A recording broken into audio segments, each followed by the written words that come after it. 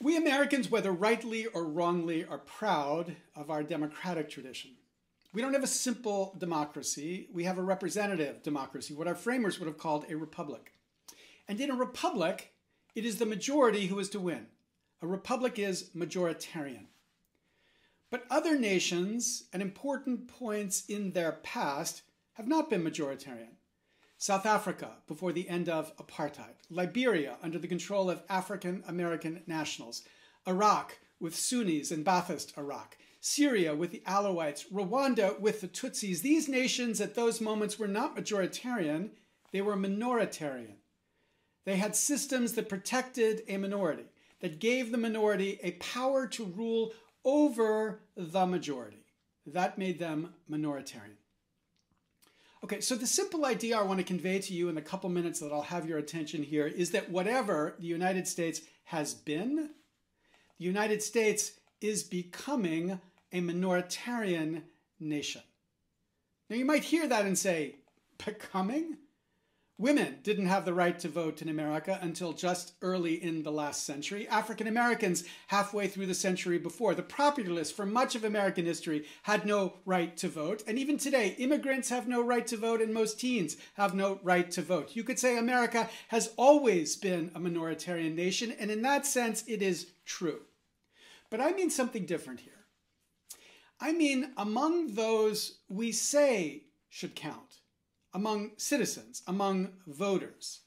Among those, America is becoming a minoritarian nation. And this, I want to argue, is new.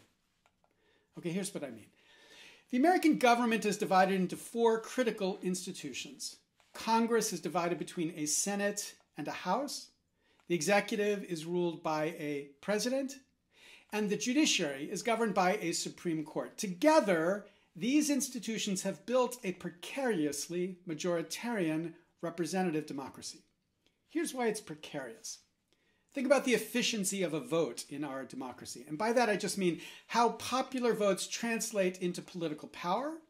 So if a vote is 100% efficient, it perfectly translates into political power. If it's less than 100% efficient, it's not perfectly translating into political power. So the House of Representatives is the closest we have to a perfectly efficient democratic institution. Over the past 20 years, Democrats have achieved a 97% efficiency, while Republicans have achieved 103%, meaning for every vote they get, they get more than that in effective political representation.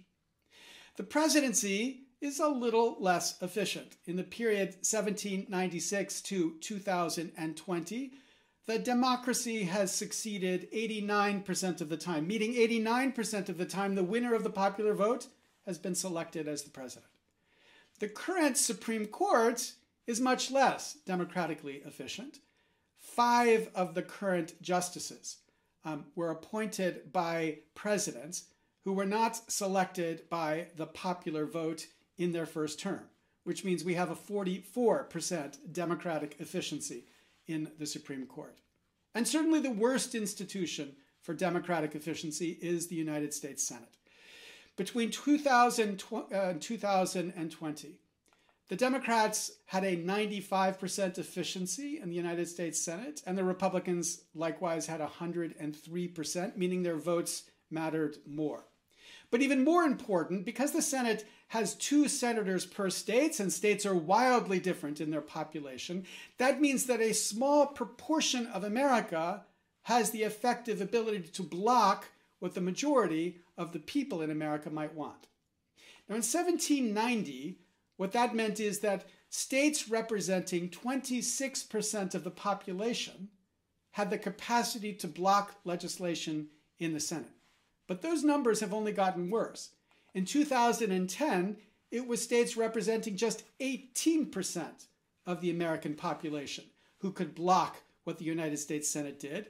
And when you count the filibuster, in 2010, states representing just 12% of the American population would have the capacity to block the United States Senate from passing legislation that the House has passed and that the president would have signed. So if you look at that system, you say it, if it's majoritarian, it certainly was precariously majoritarian. And we can see some of that precariousness too in the 2020 election. In the 2020 election, if you look at the votes for Democrats, in every one of the major democratic institutions, the Democrats achieved a majority. They got more votes than Republicans in the House, more votes than Republicans in the Senate, and more votes than Republicans for the presidency. And indeed, the system awarded control to the Democrats in each of those three institutions. But with the presidency, it was extremely precarious. Though Joe Biden beat Donald Trump by more than 7 million votes, if just 26,000 votes in three states had gone for Donald Trump, Donald Trump could have been elected president in the House of Representatives. So if America is a majoritarian republic, it is a precariously majoritarian republic. At least that has been our past. Okay, but here's the thing. If we've been precariously majoritarian, I fear we're about to become minoritarian because of changes that are happening right now. So consider what we could call the techniques of minoritarianism. The first technique is vote suppression. After this last election, where an extraordinary number of people voted because of techniques that enabled everybody to participate easily, states across the country are beginning to impose restrictions on the freedom to vote to make it harder for Democrats to vote than for Republicans. The New York Times reports over 200 bills are now being considered in legislatures across the country. Number two, gerrymandering. Because of the way politicians draw districts, and because 2020 triggers a new redistricting cycle. In this new cycle, because Republicans control more state houses, the Republicans will be able to gerrymander those districts to produce majority control when they only have the minority of the votes. As the New York Times reports, the GOP could retake the House in 2020 based solely on the gains from newly drawn districts. And then, number three, something we've never seen in American history, what we could call faithless legislature laws. States are considering laws that would give the legislature the power to flip the results in a presidential election if the legislature doesn't like who the people voted for. If we were precarious, this precariousness is ending, but not in a good way. This precariously majoritarian democracy is becoming predictably minoritarian. Now, elsewhere in other countries, you might expect the judiciary to step in. Elsewhere, the courts would step in and demand representational equality in the face of these types of changes. Ours has, at least historically, in 1963, the Supreme Court declared against a system that benefited some minority over the majority a principle of one person, one vote, constraining how legislatures might have the power to muck about with this principle of majoritarianism. But this Supreme Court has been very different. It has never resisted this slide to minoritarianism. It has upheld ID rules that disproportionately burden Democrats. It has upheld unequal access rules that disproportionately burden Democrats. And it has upheld partisan gerrymandering, which disproportionately burdens Democrats. It has only ever accelerated minoritarian rule. In the series of decisions about money in speech, the Supreme Court has upheld the power of the rich to participate in our political system more powerfully than the rest of us. It has entrenched the power of money over the people, meaning it has entrenched minoritarian democracy, at least when it comes to money in politics. I think we have to accept the judges won't save us here. And so the question is who could? Well, the most obvious institution that could save us from this minoritarianism is the United States Congress. And indeed, right now, Congress is considering a statute called H.R. 1 for the People Act, which is the most important democratic reform in two generations to have passed the House of Representatives.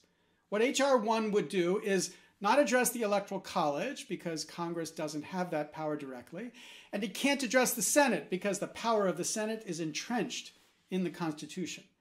But it radically reduces the capacity of states to suppress the votes of disfavored political parties, and it ends partisan gerrymandering, meaning everyone would have an equal freedom to vote in districts that were drawn not for partisan advantage. And most importantly to me, it changes the way money affects politics, giving politicians the capacity to run their campaigns without depending upon the tiny few to fund their campaigns. It does that and so much more.